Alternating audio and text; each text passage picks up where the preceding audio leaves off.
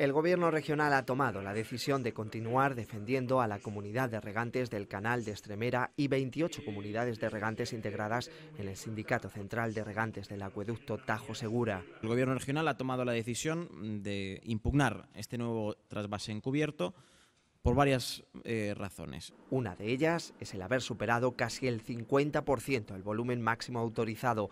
Actualmente el gobierno regional abastece de agua potable a zonas de la provincia de Guadalajara con cinco camiones cisterna. Desde el gobierno central se ha autorizado una cesión de derechos de agua que equivale a 500 camiones cisterna, casi 8.000 millones de litros.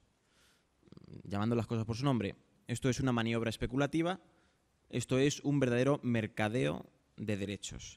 Y es que en la zona la mitad de los empleos que se generan están vinculados al agua.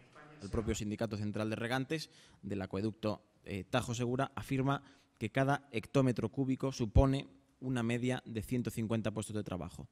Digo yo que un puesto de trabajo será igual de digno en Murcia como en Castilla-La Mancha. El portavoz también ha recordado la presión que esta cesión puede causar a diversos espacios de la red Natura 2000, tanto de Madrid como de Castilla-La Mancha.